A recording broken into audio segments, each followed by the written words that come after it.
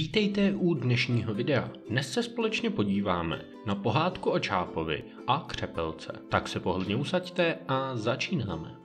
Když Bůh stvořil Čápa, dal mu tělo podobné husímu, ale jen krátké nohy. Čáp nemohl však broditi se v bahně a proto bylo mu často snášeti hlad. Tedy odebral se k Bohu a poprosil ho, aby mu z té bídy pomohl.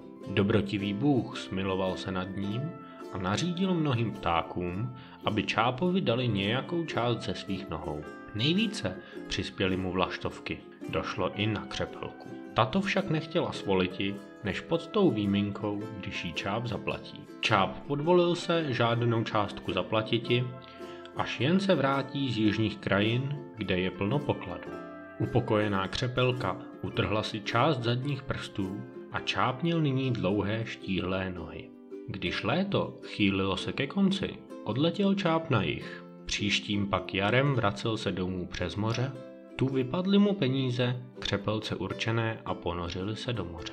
Smutné přibyl Čáp své odčiny, když ho křepelka spatřila, počala pronikavě křičeti. Pět peněz, pět peněz! Čáp nemohl snést jejího křiku, odletěl tedy na vysoký komín, kde si vystavil hnízdo.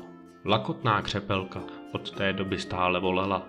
Pět peněz, pět peněz, poněvadž bydlela v polích a čáp zase na vysokých místech, nemohla ho nikdy dostihnout.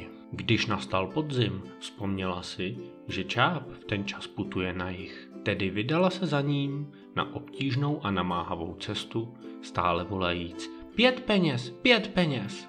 Od toho času ubírají se křepelky vždy na jich, aby upomínali čápy o slíbené peníze. Děkuji, že jste si dnešní pohádku poslechli až do konce a budu se na vás těšit u další pohádky.